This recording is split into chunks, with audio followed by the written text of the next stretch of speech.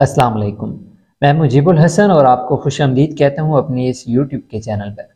आज के सेशन में हम डिस्कस करेंगे चेलिडोनियम होम्योपैथिक मेडिसिन के रिलेटेड। अब चेलिडोनियम जो होम्योपैथिक मेडिसिन है, ये लिवर के हवाले से यूज़ की जाती है। आज के सेशन में हम इस मेडिसिन की की पॉइंट्स और इम्पोर्टेंट सिम्टम्स के रिलेटेड ही डिस्कस करेंगे। सबसे पहले बात करते हैं की पॉइंट्स के बारे में। जब भी जिसम में लेवर की कोई भी प्रॉब्लम देखने मिले, जैसे कि हेपेटाइटिस यरकान जॉइंडस जिसे कहा जाता है, या खून की कमी देखने मिले, या उसके अलावा जिगर की कोई भी प्रॉब्लम हो तो इस मेडिसिन को बिला झिझक आप इस्तेमाल कर सकते हैं या यूज़ करा सकते हैं। सबसे पहले एक मिसकॉन्सेप्ट जो है उससे मैं यहाँ पर क्लियर करा दूँ। आमतौर पर यह समझा जाता है कि जो हमारा जिगर है, वो खून बनाता है, बिल्कुल ऐसा नहीं है। जो बोन मैरो उसके अंदर सॉफ्ट टिश्यू पाए जाते हैं, वही खून को बनाते हैं काफ़ी ज़्यादा। वैसे तो जिसम के और आर्गन भी खून बनाते हैं, लेकिन सबसे ज़्यादा ये जो काम करता है वो हमारे बोन मैरो के अंदर जो सॉफ्ट टिश्यूज़ पाए जाते हैं, वो ये काम करते हैं। अब लिवर का क्या काम होता है?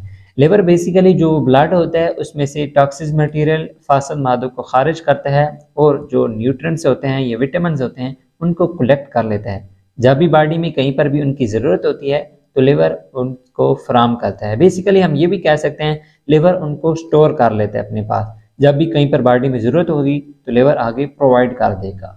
अब हम बात करते हैं इम्पोर्टेंट सिम्टम्स के रिलेटेड कि पेशेंट में क्या इलामत देखने मिलेंगी, जिस बेस पर चेलीडोनियम मेडिसिन को यूज़ कराया जाए या किया जाए।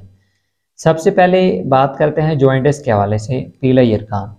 जब भी किसी शख्स को ज्वाइंटस होता है तो उसकी आइज़ काफ़ी ज़्यादा जर्द उसका फेस काफ़ी ज़्यादा जार मतलब पिलाट का शिकार हो जाता है और उसका यूरन काफ़ी ज़्यादा येलो आने लग पड़ता है। अब ये जो पॉइंट्स हैं, तीनों मैंने आपसे शेयर किए हैं, इनके रिलेटेड आप चेलिडोनिया मेडिसिन को यूज़ कराएँ। काफ़ी ज़्यादा अच्छा रिज़ल्ट मिलता है। अब जब भी किसी शख्स में ये लमात देखने मिलती हैं तो ये सुनने मिलता है वर्ड के जिगर काम नहीं कर रहा। तो जिगर काम नहीं कर रहा तो ये मेडिसिन बेसिकली लिवर को ताकत फ्राम करती है। ताकि वो अपना जो काम है, एक नेचुरली उसका जो वर्क है, उसको सही तरह से वो परफॉर्म कर पाए।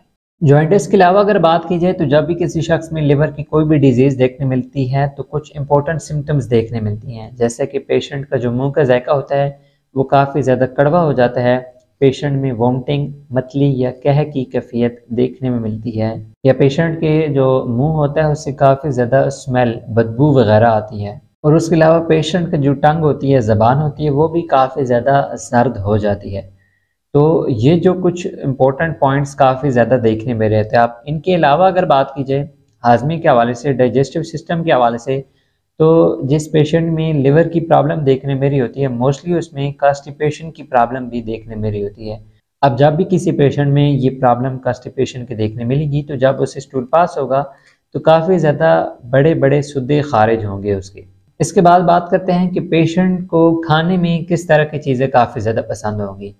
जिस पेशेंट का लिवर काफ़ी ज़्यादा प्रॉब्लम का शिकार होगा तो उसे जो भी कोई चीज़ आप देंगे तो उसकी तलब ज़्यादा होगी कि उसे गर्म चीज़ दी जाए या खाने में या पीने में उसे गर्म चीज़ें काफ़ी ज़्यादा पसंद होंगी। इन पॉइंट्स के बाद जो अगले पॉइंट हैं वो काफ़ी ज़्यादा इंपॉर्टेंट है, दर्द के हवाले से। जब किसी पेशेंट में दर्द देखने मिले खसूस गर्दन वाली जगह पर, जिससे आमतौर पर यह समझा जाता है कि पट्ठों में खिंचाव हो गया, कि पट्ठों में दर्द हो गया, जिसमें सबसे पहले कोलेस्ट्रोल ज़्यादातर लोग चेक कराते हैं या कुछ लोग यूरिक एसिड चेक कराते हैं। एक कॉन्सेप्ट यहाँ पर भी मैं आपको क्लियर करता जाऊँ, जब भी दर्द गोश्त के अंदर देखने मिले तो फिर कोलेस्ट्रोल टेस्ट कराया जाना चाहिए। जब जोड़ों में, हड्डियों में दर्द देखने मिले तो वहाँ पर यूरिक एसिड टेस्ट कराना चाहिए। ज़्यादातर ऐसे होता है कि गर्दन में दर्द देखने मिल रहा होता है और यूरिक एसिड टेस्ट कराया जा रहा होता है। वो दर्द बेसिकली पट्ठों में खिंचाव होता है, उसकी वजह से काफ़ी ज़्यादा वो पेन देखने मिल रहा होता है। अब जो चेरिडोनिया मेडिसिन का पेशेंट होगा, इसको जो दर्द होगा बेसिकली वो कान के पीछे से स्टार्ट होगा और गर्दन के जो जोड़ होते हैं जॉइंट्स होते हैं, वहाँ तक वो पेन जाएगा और पेन काफ़ी ज़्यादा शिद्दत वाला होगा। और इसके अलावा पेशेंट को ऐसे महसूस होगा कि जैसे उसकी गर्दन काफ़ी ज़्यादा ठंडी होगी बर्फ़ की मानद ये जो पेन होगा पेशेंट में खसूस राइट साइड पे काफ़ी ज़्यादा देखने मिलेगा। दाएँ कंधे में ये दर्द काफ़ी ज़्यादा देखने मिलेगा और ना सिर्फ़ दाएँ कंधे में, बल्कि मरीज़ के हाथ की अंगलियों में, पाँव की अंगलियों के जो अगले सिरे होंगे, उनमें भी हल्का हल्का पेन महसूस होगा। दर्द के अलावा अगर बात की जाए तो पेशेंट को ये जो हाथ की या पाँव की अंगलियों के सिरे होंगे, ये बर्फ़ की माने ठंडे भी महसूस हो सकते हैं। इनके बाद नेक्स्ट बात करते हैं पेशेंट के यूरन के हवाले से। ऑलरेडी पहले मैंने शेयर किया है कि जिस पेशेंट में जॉइंडस देखने मिलेगा, उसका यूरन काफ़ी ज़्यादा येलो शेडो में होगा।